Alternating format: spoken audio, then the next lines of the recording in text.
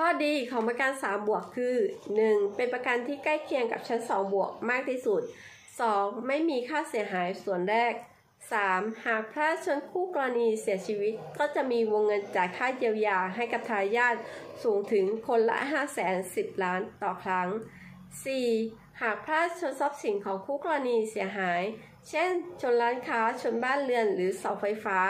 หรือรถของคู่กรณีเสียหาย ก็จะมีวงเงินซ่อมให้สูงถึง 1 ล้านบาท 5. หากคนในรถได้รับบาดเจ็บ ก็จะมีวงเงินจ่ายให้คนละ 1 0 0 0 0แสนบาท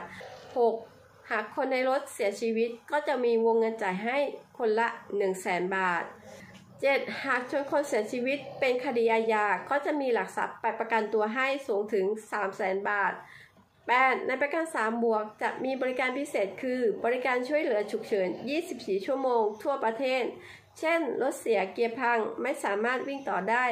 ก็จะมีรถสไลด์สไลด์ไปส่งที่อู่ฟรี 50 กิโลเมตร